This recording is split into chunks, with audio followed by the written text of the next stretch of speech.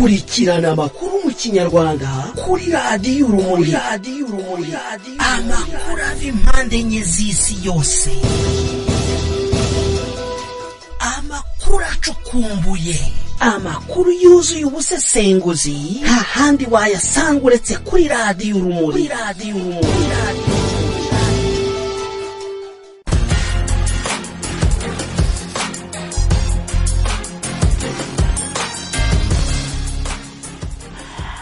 Mbahaye ikaze inshuti bakunze ba radiyo rumuri ni radiyo ya sosiyete sivire ivugira ku murongo wa interinete turi ku wa gatandatu tariki ya cumi n'imwe nyakanga umwaka n'ibihumbi bibiri na makumyabiri. Tugeze mu mwanya w'amakuru mu kinyarwanda.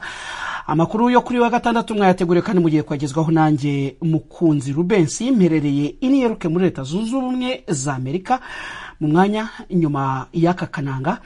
Ndagaruka mbagezaho ingingo z'ingenzi tugiye kwibandaho.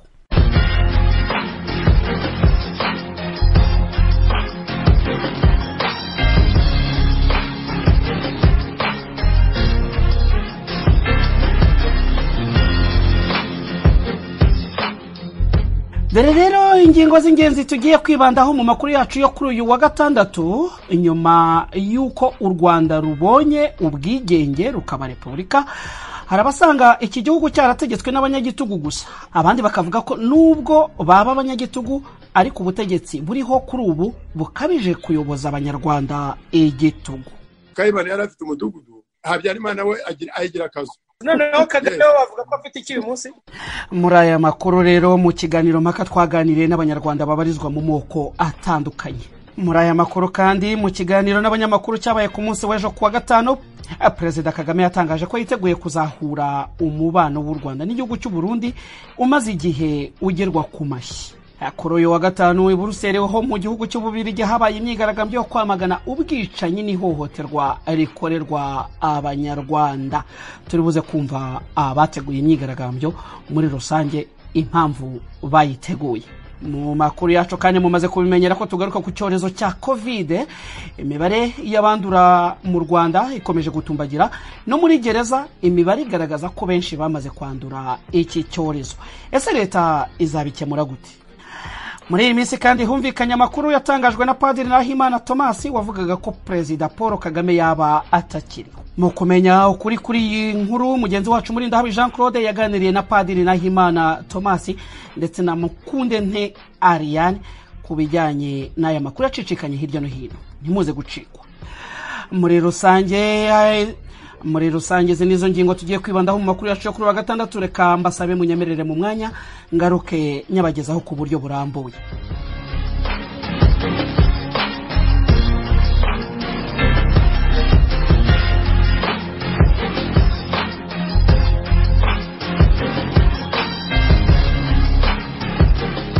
Nari maze kubibabwira rero mu ngingo z'ingenzi ko nyuma y'uko u rwanda rubonye ubwigenge rukaba repubulika hari abasanga iki gihugu cyarategetswe n'abanyagitugu gusa abandi bakavuga ko nubwo baba abanyagitugu ariko ubutegetsi buriho kuri ubu ngubu bukabije kuyoboza abanyarwanda igitugu. Mu kiganiro nagiranye na david himbara ubarizwa mu bwoko bw'abatutsi ndetse na dr. Inosa justice ubarizwa mu bwoko bw'abahutu na madamazera jessica ubarizwa mu bwoko bw'abatwa. Aba bose bahuriza ku kuba abanyarwanda bagomba kurenga ikibazo cy'amoko kuko ari byo byatumye igihe cyose abafata ubutegetsi bahitamo kuba abanyagitugu kandi bose bikarangira bamennye amaraso muri iki gice cy'ikiganiro mpaka nagiranye n'aba banyarwanda babarizwa mu moko atandukanye basanga kuba abanyarwanda bibeshya ko hari amashyaka menshi mu gihugu bitagaragaza demokarasi. Cyane ko igihe cyose ishyaka rimwe ari ryo ryikubira ubu butegetsi umva dr. Justice inosa na himbara david icyo babivugaho? Mu by'ukuri kuvuga yuko dictatorship ari uko ifite ishyaka rimwe ntabwo ari byo gusa kuko nk'ubu mu rwanda dufite dictatorship ifite amayeri menshi ifite amashyaka agaragara nk'amashyaka ariko akaba ari mu bwato bumwe. So hari dictatorship na yo ishobora kugira ibigaragara nk'amashyaka menshi ariko aho ngaho uriruhiriza ubusa uriruhiriza ubusa. Ini rwanda ubu ngubu. In fact nta na political party zikibaho. Not even rpf kuko ni one, ni one person rule. Kuko nk'ubu ngubu kugira ngo n'abantu batorwe there are no elections. They give uh, a party list. Niwe utikinga people don't have there are no constituencies anymore. Zero. It is worse than 60s and 70s now. Ah ah ah. Noneho ushatse kuvuga ko igitugu kiriho uyu munsi kiruta icyo muri za mirongo itandatu na mirongo irindwi david. The, at the time of kayibanda habaga elections n'abantu bagatora. Ariko ari one party state. There were constituencies. Abantu bajyaga kwitoza niyo mpamvu tunavuga ngo uriya yari afite umudugudu Habyarimana- kayibanda yari afite umudugudu. Noneho habyarimana we agira- ayigira akazu. Agira akazi noneho kagame we wavuga ko afite iki uyu munsi afite nakumva Exact. noneho uzaza azaba afite umusarani noneho. David yenda mbere yo kumureka ngo ukomeze. Ntabwo wumva ko rero noneho cya gitugu kirutana. Uravuga uti kayibanda yari afite umudugudu habyarimana agira akazu none kagame uyu munsi ntabwo ari akazu byabaye akumba ubwo ntabwo wumva ko noneho harimo kurutana nk'uko abantu benshi bakunda kukubwira bati umunyagitugu wawe uwanjye no umunyagitugu nubwo waba ufite umudugudu ariko ubu ufite one party state nubwo waba ntawe wishe you are a dictator. Once you change the constitution to stay in power you are gone. Finito. Mu gihe david himbara we yemeza ko abanyagitugu bose ari bamwe ntawe uruta undi dr. Inosa we avuga ko atari ko abibona. Umva uko abivuga. Njye wenda navuga ngo um, hari ibintu mbona bose bahuje ariko harimo n'ibyo batandukaniyeho. Reka wenda mpere ku byo batandukaniyeho. Avuze yuko uh, kuri we ibiranga umunyagitugu ko ari ukuba yaraje ku butegetsi uh, akoresheje imbaraga ikindi yavuze ni uko uh, umunyagitugu aba n'ubundi afite ishyaka rimwe rukumbi ku buryo n'amatora n'ubundi biba ari nko kwerekana bya sho ariko bakagira amatora bagatora ijana ku ijana. So mpereye kuri kayibanda navuga ngo kayibanda ntabwo ntekereza yuko yaje ku butegetsi ku mbunda nk'uko ah, habyarimana yakoresheje imbunda kubufata ah, muri kudeta yakoze. Cyangwa kagame uko yaje ku butegetsi. So nshobora kuvuga yuko kayibanda yaje ku butegetsi biciye mu matora wenda nyuma baravuga mu cyongereza ngo power corrupt wenda agakomeza gukunda ubutegetsi akagumaho n'amatora akagenda ah, yongera. Uretse yuko nubwo mbivuze gutyo n'ubundi ntabwo njye nakoze deep research ku bwa kayibanda. Cyane cyane njya nkunda kuvuga kuri regime ya habyarimana na regime ya kagame kuko izo regime ndazizi nta n'ugomba ku- kumbwira ngo hari ibitabo ngomba gusoma kuko izo ndazizi cyane nazibayemo ah, byari ubuzima bwanjye. So navuga ngo uko baje hari aho bitandukaniye. Nanone kuri njye navuga ngo igitugu kigenda kigira dogere cyangwa kigira digiri Ah, hari igitugu nakwita mild kikaba ari igitugu na cyo ariko ugasanga atari igitugu cyica abantu atari igitugu usanga aho abantu bahora n'ubwoba so navuga ngo ku bwa habyarimana ni urugero. Nibyo habyarimana yari afite inyota y'ubutegetsi ni byo habyarimana ntiyashaka kurekura ni byo ku bwa habyarimana bigishaga abana no mu ishuri nanjye ndimo batwigisha mere n'ide mere n'ide tuzamutora ijana ku ijana. Ugasanga ni ibintu bya propaganda nyine bagira promotion ya habyarimana. Ni byo ishyaka ryari rimwe ku rukumbi rya remere n'ide Ah, ariko ntabwo navuga yuko ku bwa habyarimana wumvaga ngo umuturanyi ngo yabuze ngo ujye kumva ngo wumve ngo kanaka bamwishe. Ah, mbese cyangwa ngo aba- abanyarwanda babe batarizeranaga nk'uko ubu ngubu bimeze ubu mu rwanda umuntu yikoraho akavuga ngo ninde unkozeho? So navuga ngo njye kuri njye ibitugu ngenda mbishyira mu nzego.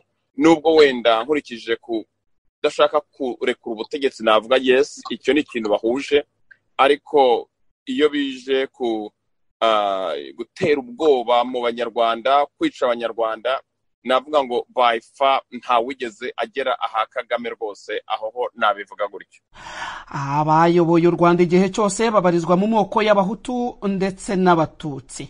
Madama zera jessica ubarizwa mu bwoko bw'abatwa abarizwa hano muri leta zunze ubumwe za amerika akaba arangije kaminuza mu cyiciro cya masters mu bijyanye n'amajyambere arambye.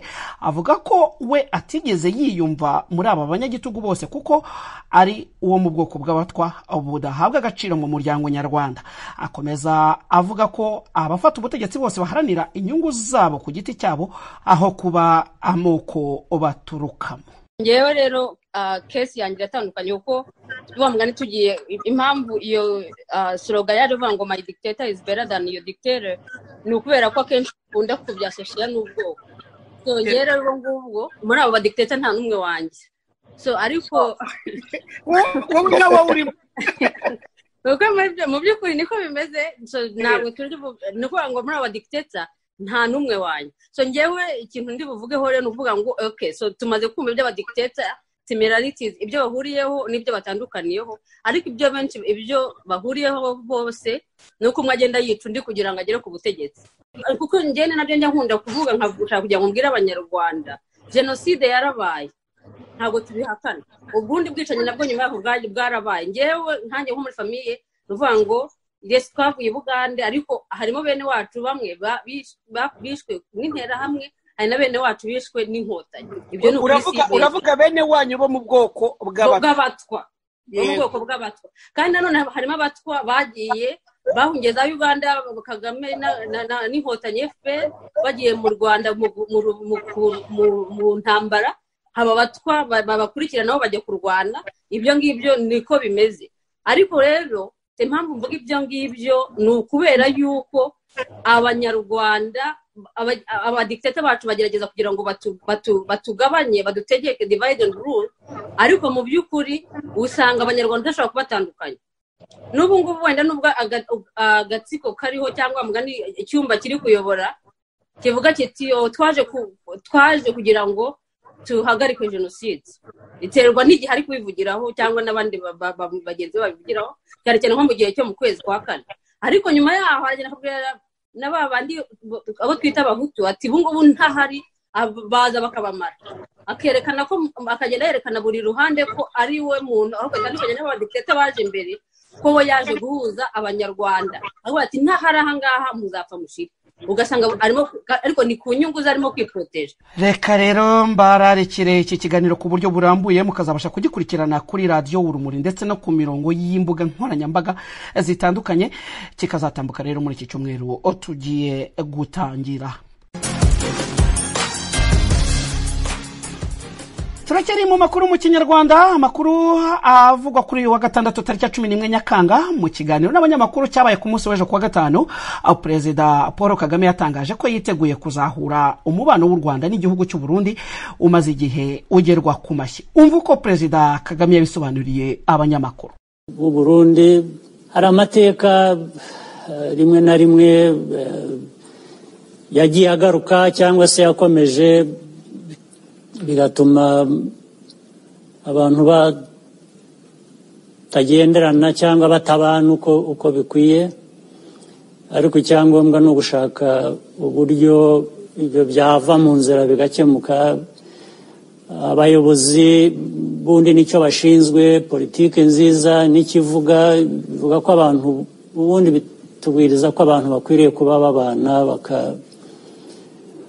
bakaba bagahahirana ibindi kutumvikana by'urudaca na byo bikagira uko birangira. Nicyo tureba rero ni cyo twifuza ko twageraho n'abayobozi bashya bo mu gihugu cy'u Burundi ari perezida ndayishimiye n'abafatanije nabo mu kuyobora ubwo iyo politiki niba ariho baganisha twe ntabwo bazasanga tugoranye kugira ngo dukorane nabo twumvikane nabo duhahirane ibihugu nk'ibituranyi tubane neza kuko ariko bikwiriye kuba bimeze.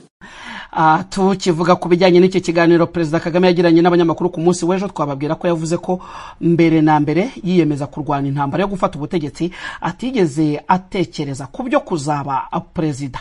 Ah, kagame umaze ku butegetsi imyaka isaga makumyabiri yavuze ko atigeze ashyira imbaraga mu kuzayobora u rwanda. Aya ni amagambo benshi bafata nk'ikinyoma dore ko ababanye nawe bakaza gushwana nawe kubera ubutegetsi bakunze kwemeza ko igihe cyose yabaga afite inyota y'ubutegetsi kugeza n'aho ahinduriye itegeko nshinga. Kugira ngo azaburambeho. Reka tuve mu rwanda twerekeze i buruseli ho mu gihugu cy'ububirigi ariko nanone ku makuru ajyanye n'u rwanda ejo i buruseli habaye imyigaragambyo yo kwamagana ubwicanyi n'ihohoterwa rikorerwa abanyarwanda.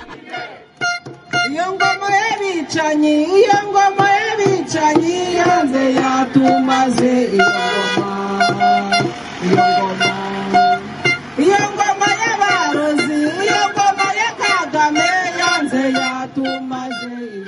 muri myigaragambyo yabereye imbere y'icyicaro cy'umuryango w'ubumwe bw'uburayi abigaragambyaga basabaga leta y'u rwanda ko yareka guhoza ku nkeke abo batavuga rumwe barimo madamu ingabire victoire ukuriye ishyaka darufa umurinzi. Aganira na radiyo inkingi madamu marceline nyiranduwamungu uhagarariye urugaga rw'abategarugori baharanira demokarasi n'amahoro avuga ko abanyarwanda bakwiye kuzamura ijwi bakamagana akarengane gakorerwa abanyarwanda mu buryo butandukanye. Impamvu twari twakoresheje iyi myigaragambyo ni ukubera ibibazo bikomeje kugariza igihugu cyacu. Twiyemeje kuzajya tuvuga ibitagenda muri kariya gace k'ibiyaga bigari. Ubu none twari ku rwanda kuko nirwo eh, rusa n'urwasigaye inyuma muri demokarasi. Ubwo twari twihaye ingingo eshatu. Iya mbere twavugagaho ni iy'abanyamakuru batemerewe gukora abanyamakuru bigenga bahora bajujubya. Ubwo twabasabiraga ko urubuga rwafungurwa. Ikindi twavuze ku bafite amashyaka ya politike atemewe n'amategeko nabo bahoza ku nke- ku nkeke kandi ubundi muri iki kinyejana tugezemo ah, kugira amashyaka menshi kugira ibitekerezo bitandukanye bir- birubaka. Ikindi twavuze ni twavuze kuri biriya bintu bi- bisigaye byarateye i kigali byo gushishikariza abantu kwanga abandi. Tugahera kuri nko kuri uriya tom ndahiro na marie macure ingabire. Ah, n'iriya televiziyo mwabonye my 250 tv je crois my 250 tv ah, yasabiye kwicwa madamu victoire ingabire umuyobozi tubiretse tukabiceceka byazakomeza. Ubwo tukanongeraho n'abandi banyarwanda bose ah, bishwe barigishijwe ku maherere. Ah, tukivuga kuri iyi myigaragambyo yabaye ku munsi w'ejo buruseli ho mu gihugu cy'ububirigi umwe mu bitabiriye iyi myigaragambyo ariko utavugwa amazina kubera impamvu z'umutekano avuga ko aheruka mu rwanda mu bihe bishize. Yavuze ko uretse abanyapolitike abahinzi mu rwanda bafite ibibazo bikomeye bishingiye ku kuba badafite ubwisanzure mu byo bahinga. Ntabwo twakwicara ngo dukuruwaze rebura ngo twasite amaboko mu mifuka turye tumwe ariko tubona bagenzi bacu bene wacu barimo kwicwa urubozo barimo mm, baragizwa imbunda bamerewe nabi birakabije birakabije birenze ubwenge bwa muntu. Umuntu wese uzi uburenganzira bwa muntu ntabwo yabyihangana. Hashize imyaka ibiri mvuye mu rwanda Ah, amakuru mashya nababwira bitewe na segiteri nabagamo nabaga mu bijyanye n'ubuhinzi abahinzi bafite ibibazo bikomeye. Abahinzi baragererwaho ibyitwa ngo ifumbire ya nkunganire ngo yo kongera umusaruro.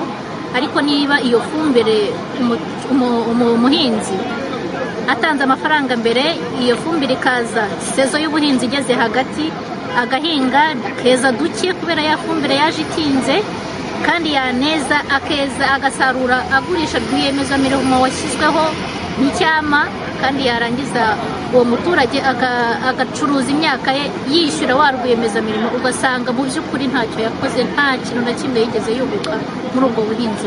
Ni ibibazo bikomeye. Iyi mwumva ni radiyo urumuri radiyo ya sosiyete sivile ivugira ku murongo wa interineti. Reka rero tuve ku makuru havugwa muri rusange tunyarukire ku makuru nk'uko mumaze kumenyera agaruka ku cyorezo cya covid cumi n'icyenda mu rwanda imibare y'abanduye ikomeje gutumbagira. No muri gereza imibare igaragaza ko benshi bamaze kwandura. Mu itangazo minisiteri y'ubuzima yasohoye ejo hashize yavuze ko ahitwa i nyabihu hakuwe imfungwa cumi na zirindwi zanduye virusi ya korona mu mujyi wa kigali havanwa abarwayi bagera kuri cumi na batandatu barimo abatashye n'itsinda ryitabwaho by'umwihariko rusizi habonetse batanu mu gihe muri nyamagabe habonetse abantu bane. Amakuru dufite aravuga ko kuri uyu wa kane polisi y'u rwanda yatangaje ko yafashe abagabo bane bari batorotse ikigo cya aspec kiri kuvurirwamo abarwayi ba covid cumi n'icyenda giherereye mu karere ka ngoma. Aba nabo bakaba bari basanganywe ubwandu bwa covid cumi n'icyenda tukivuga kuri covid cumi n'icyenda amakuru dukesha ibinyamakuru byandikirwa i kigali aravuga ko umuryango utuye mu murenge wa cyahinda mu karere ka nyaruguru utabariza umugabo w'imyaka mirongo ine n'icyenda ngo uherutse gukubitwa na polisi azira kuba atambaye agapfukamunwa. Nyuma yo kuvanwa kwa muganga ngo agahita afungwa ubu bakaba batemerewe no kumusura. Ku wa kane w'iki cyumweru dusoza nibwo abaturanyi b'umuryango w'umusaza witwa niyo mugabo jean damascene utuye ahitwa icyahinda bavuga ko ubwo yari avuye mu rugo yameshe agapfukamunwa asiga akanitse. Ageze mu muhanda ahura n'abapolisi baramuhagarika bitewe n'uko atari yambaye aka gapfukamunwa biza kurangira havuyemo no kumukubita. Bakomeza bavuga ko nyuma yo kumukubita ngo banamwijyaniye kwa muganga bitewe n'uko yakomerekejwe nyuma avanwa kwa muganga bamukomezanya muri kasho afunga ubwo uyu muryango we uvuga ko kuva yafungwa bamugezeho rimwe ubundi babuzwa kongera kumubona ibyo bafata nk'akarengane yakorewe. Umuvugizi wa polisi y'u rwanda cp john bosco kabera yabwiye ibinyamakuru byo mu rwanda ko uwo mugabo yafashwe yanyweye inzoga ngo ndetse yari yarenze ku mabwiriza yo kurwanya covid cumi n'icyenda ko atigeze akubitwa ndetse ngo nta n'ubwo afunzwe na polisi. Si ubwa mbere mu rwanda humvikanye amakuru y'uko inzego zishinzwe kurinda abaturage arizo zibabuza amahwemo aho bamwe bakubitwa abandi bagafungwa mu buryo budakurikije amategeko byitwa ko hari kubahirizwa amabwiriza ya covid cumi n'icyenda içimde. Inshuti bakunzi ba radiyo muri radiyo sosiyete sivire ivugira ku murongo wa interineti turi kugenda tunagana ku musozo w'amakuru yacu yo kuri uyu wa gatandatu. Reka rero tuve kuri aya makuru ajyanye n'icyorezo cya kovidi ya cumi n'icyenda. Hanyuma tubabwira ko muri iyi minsi humvikanye amakuru yatangajwe na padiri nahimana tomasi wavugaga ko perezida kagame yaba atakiriho. Mu kumenya ukuri kuri iyi nkuru mugenzi wacu murindahabi jean claude ipari mu gihugu cy'ubufaransa yagiranye ikiganiro mpaka na padiri nahimana tomasi ndetse na mukundente ariane. Hanyuma bava imuzimuzingo iki kibazo cyacicikanye hirya no hino ku mbuga nkoranyambaga. Reka murinda habi jean claude utwemerere utubwire uko ibingibi bihagaze. Umwe mu banyapolitike batavuga rumwe n'ubutegetsi bwa paul kagame akomeje kumvikana mu biganiro amaze iminsi akora yemeza ko umukuru w'u rwanda atariho. Kuri uyu wa gatanu namuhamagaye ndetse muhuza mu kiganiro n'utabibona nkawe kuri iyo ngingo. Ni madame clarisse ariane mukundente bagiye impaka. Bavuganiye kuri mikoro ya radiyo y'urumuri padiri thomas nahimana ari mu bufaransa naho mukundente muri canada. Tubumve muri make. Umwanya w'umukuru w'igihugu hari abantu benshi batazi icyo bishaka kuvuga cyangwa n'ikirimo. Bareba umuntu gusa bakagira umwanya w'umukuru w'igihugu n'ibyo. Umukuru w'igihugu ni umuntu ufite inshingano. Ikidushishikaje si izina habyarimana si izina kayibanda gusa si izina paul kagame cyangwa bizimungu. Ikibazo ni cyo igihe umuntu ari mu gihe cye cyo kuba umukuru w'igihugu ari gukora iki? Ashinzwe iki? Ngewe rero mfite amahirwe yo kuba uwo mwanya narawitayeho ku buryo bw'umwihariko kubera impamvu muzi z'amateka nkajya no kureba inshingano ze nkareba uburenganzira bwe ariko naho naho naho uburenganzira bwe bugarukira. Kubona rero umuntu w'umukuru w'igihugu aburirwa irengero neza abaturage bakamubura amezi atanu mu bihe bikomeye mu gihe isi yacitse ururondogoro kubera ibya korona virusi mu gihugu hakaza ibiza bigahitana abantu umuntu akabura burundu burundu akagenda kizita amaze gupfa premier minisitiri akabura kuvuga ngo uwo muntu aracyariho sinzi icyo byaba bishaka kuvuga. Kugeza n'iyi saha igihe paul kagame atarigaragaza ariko buriya gusura nk'umurenge umwe wo muri kigali wenda simusabe kujya iwacu cyangwa agasura nk'umurenge umwe muri kigali abaturage bakamubona. Iyo ni inshingano ye nta nubwo ari ukubimwingingira. Arabihemberwa biramutunze we n'umuryango we. Amezi atanu arashize uwo muntu atagaragara. Abemeza ko akiriho bazamutwereka ari muzima ariko adusobanurire iyo yari yaragiye. Aho tugeze aho ngaho n'ibyo umaze kuvuga twumve eh, clarisse ariane mukundente niba hari icyo yabivugaho cyangwa yakubazaho. Eh, murakoze muri ndahabi genda baza padiri um, iyo muvuga ngo perezida wa repubulika yitabye imana um, muba mushingiye ku ki kuko tumaze iminsi tumaze iminsi tumubona muravuga ngo ntabwo mwamubonye. Ariko tumaze iminsi tumubona hari hari inama ya fpr iherutse kuba twaramubonye avuga disikuru hari inama za kovide zi- zi- ziba uh, na- n'abakuru b'ibihugu bo mu bindi bihugu uh, n'imiryango mpuzamahanga twaramubonye yahise inshuro nyinshi. Ejo bundi ro 4 juillet yavuze disikuru ntabwo twaramubonye. Mu- mu- mushingi- mushingira kuki iyo muvuga ngo yitabye imana kandi nubwo tutaramubona hanze? N'ejo bundi ba- banamwerekanye yagiye gusura umudugudu. Ni iki mushingiraho muvuga ngo ngo yitabye imana? Kubera ko mukora politike kandi abantu barawumva hari abantu bashobora kubyumva bakavuga bati padiri ariho abikorera politike bya bindi by'abanyarwanda by'ibikabyo bakabifata ko ari ibikabyo. Ariko hari abandi banyarwanda ntabwo bose bafite imyumvire imwe iyo bumvise muvuga ibyo ngibyo kandi mukora politike barabyemera. Mubivugira iki? Mushingira kuki kandi tumaze iminsi tumubona. Nubwo tumubona umwanya munini ariko yarabona ikibazo cya kararisa ni ikibazo cyiza cyane. Arambwira ati ushingira aho ubyemeza tubivuga kugira ngo mbivuga kugira ngo abantu babyemere banabirebe ariko mbivuga mbere na mbere kugira ngo perezida wa repubulika nabo bafatanya niba bakibaho babyumve babi- babi- babikosore. Ko umuturage ufite inshingano yo kureba ko abantu bari gukora umurimo wabo cyangwa batawukora. Kereka niba iyo nshingano kararisa avuga ko ntayifite. Rwose kararisa nkubwize ukuri biteye isoni biteye isoni kuba abantu bavuga ngo perezida arahari. Uko agaragara ubwabyo muri utwo duce duce muvuga. Ubwabyo biteye isoni umuntu yambaye agashati kamwe biragaragara ko uwo muntu adaheruka nta kibazo cy'igihugu akibuka muri utwo duce duce bagenda barema. Njyewe ariko ntabwo ari ayo maso mfite niba kararisa wowe ku- kubona amafoto ya perezida bigushimishije na yo habyarimana nayakwereka. Na- numvise ibyo padiri yavuze nta nta hantu na hamwe na hamwe yemeje yuko ah, hariya twabonye perezida ari donc ngo arabyita tekinike ariko nta nta nta preuve n'imwe cyangwa gihamya atanga kubera ko twanabonye n'aho avugana n'abakuru b'ibihugu by'ahandi n'imiryango mpuzamahanga. Sinumva ukuntu aba- ba- njye ntabwo ibyo gutekinika ntabwo nzi n'uko babigenza n'iki.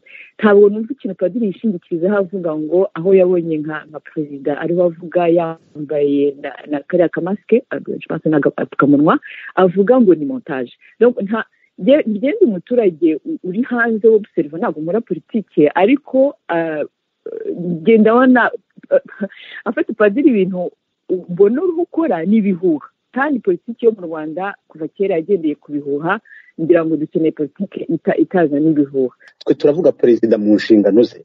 Niba yareguye nabisobanura. Niba atareguye ntiyereka abaturage. Ariko si izo muhana zivuga nte? Ko perezida ari we ufite ububasha ko atari ngewe umugenga? Icyo kintu yakivuguruza mu minota itanu gusa. Harakoze cyane rero murinda habe jean claude ah, waganiraga na padiri nahimana tomasi ah, ku magambo yacicikanye ku mbuga nkoranyambaga avuga ko perezida kagame yaba atakiriho ngira ngo rero mwumvise uburyo impaka zikomeje kuzamuka. Ubwo reka mbone rero no kubararikira gukurikirana iki kiganiro mukaba mushobora kukibona ku murongo wa youtube mukaba mushobora kugikurikirana ku buryo burambuye. Kimwe n'ibindi biganiro radiyo urumuri ibagezaho.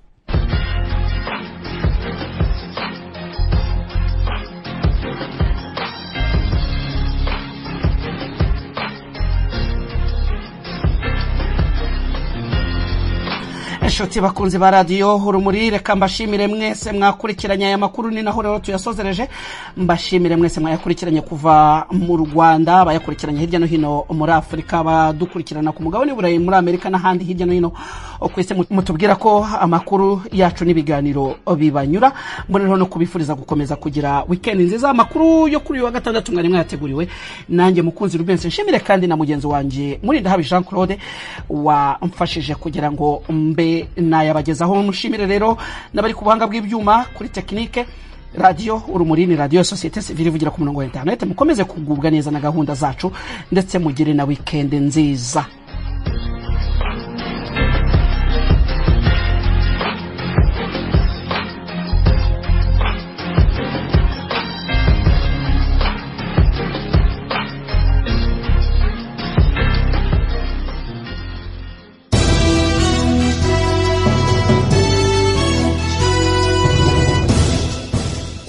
Kurikirana amakuru mu kinyarwanda. Kuri radiyo urumuri. Amakuru ava impande enye z'isi yose. Amakuru acukumbuye. Amakuru yuzuye ubusesenguzi. Nta handi wayasanga uretse kuri radiyo urumuri.